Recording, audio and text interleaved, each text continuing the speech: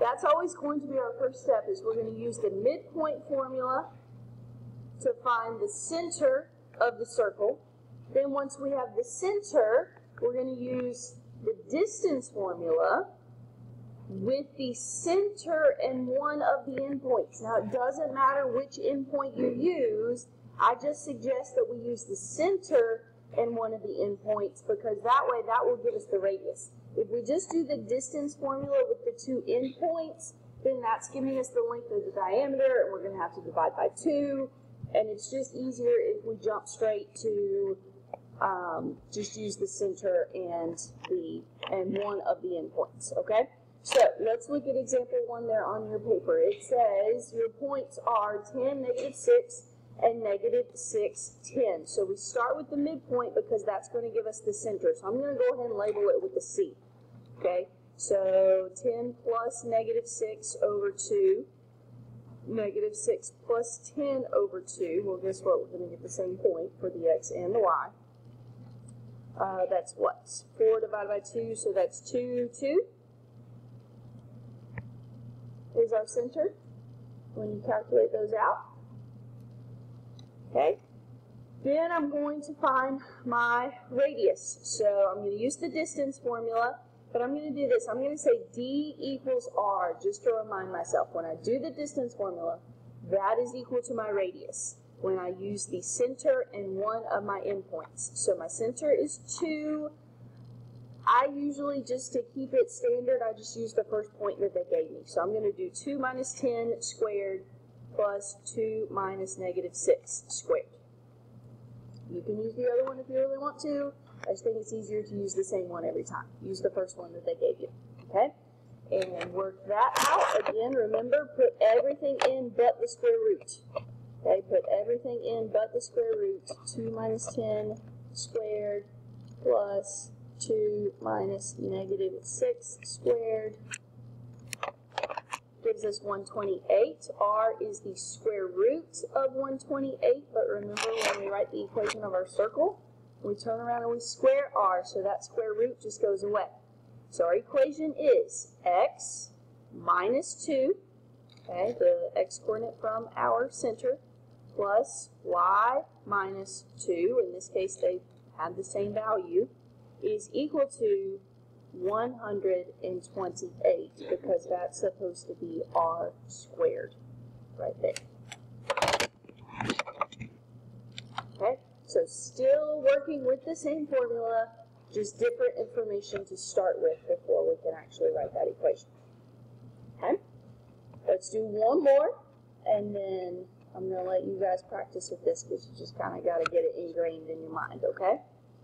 All right, so center comes from the midpoint when we've got the end points of the diameter. So negative 4 plus negative 12 over 2, 15 plus 9 over 2. So that is negative 16 over 2, negative 8. And 15 plus 9 is 14, 7. Negative 8, 7.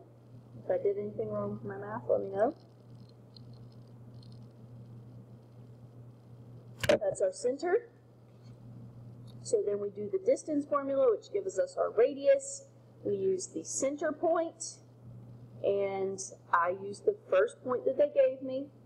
If somebody wants to prove that it gives you the same thing, you can use the second one.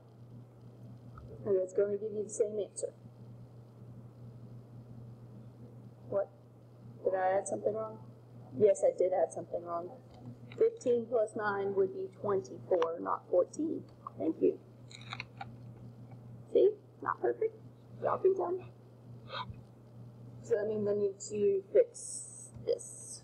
That would be 12 minus 15. Whoops. See, it made a big difference.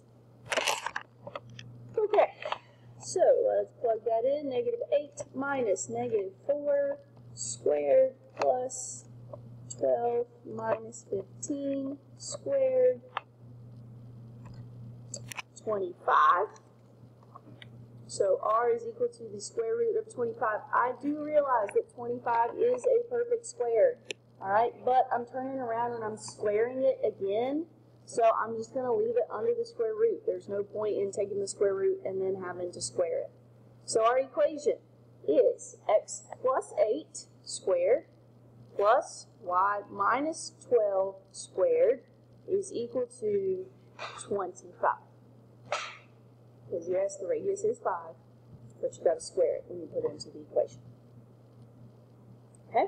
So, nothing terribly difficult. You just got to remember all the pieces. So I want you to practice. Do the other eight problems on this side of the worksheet. You are given a translation of the circle. So they give you an equation. So like looking at number six, I wanted to do the last one of this set. Uh, looking at number six, they give you an equation of a circle.